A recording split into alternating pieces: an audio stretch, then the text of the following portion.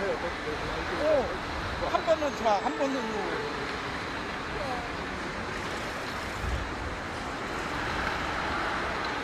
우리도 언제든 날수 있다는 거죠.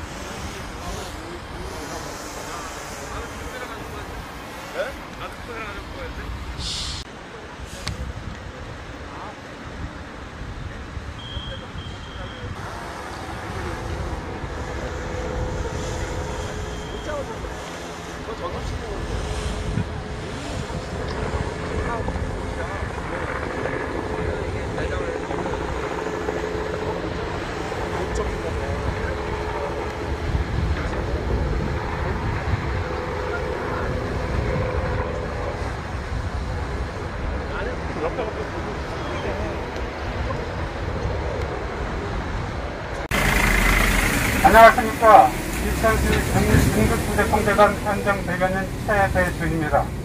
지금부터 크리스 FAC 물류 창고에 대한 현장 브리핑을 시작하겠습니다. 사고 계획입니다. 일시는 2022년 5월 23일 월요일 11시 40분경에 화재가 발생하였습니다. 장소는 이천시 마장면 지상로 54번지로 철근 콘크리트조 샌드위치 건물 지상 4층 건물이 되겠습니다. 사고 원인은 현재 조사 중으로 건물 외벽에서 원인 미상의 화재가 발생한 것으로 추정하고 있습니다. 피해 사항입니다. 인명 피해는 총 1명, 정상 1명이 되겠습니다. 1도 화상으로 목과 팔에, 목과 팔에 1도의 화상을 입은 사람이 되겠습니다. 그리고 자력자 피가 142명이 있어서 근무자 전원 안전하게 대피 완료한 사항입니다. 이 부분은 안전관리자가 확인한 사항이 되겠습니다. 피해는 현재 조사 중에 있습니다. 동원 현황을 말씀드리겠습니다. 인원은 소방이 211명, 진압이 149, 구조 20, 기타가 36명이 되겠습니다. 경찰이 25명이 되겠습니다. 장비는 총 78대로서 펌프 8대, 탱크 21대, 헬기 4대, 기타 22대가 되겠습니다.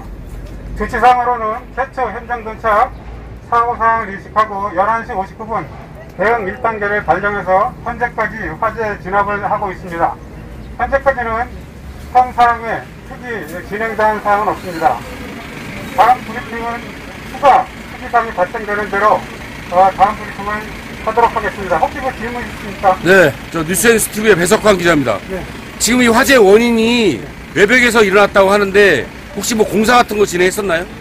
법원은 현재 조사 중에 있고요. 네. 조사가 나오면 바로 다음 브리핑에서 발표하도록 하겠습니다. 아직까지 원인 민상이라는 거 아닙니까? 네, 그렇습니다. 저 그러면 저 중상 경상 한 명 입었다는데 누굽니까 그분이?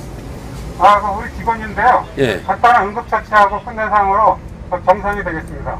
네, 병원 알겠습니다. 이송도 안 한 상황입니다. 네네. 그러면 그 경상자가 저 142명에 포함되는 분은 아니고요. 포함이 안 되고 있습니다.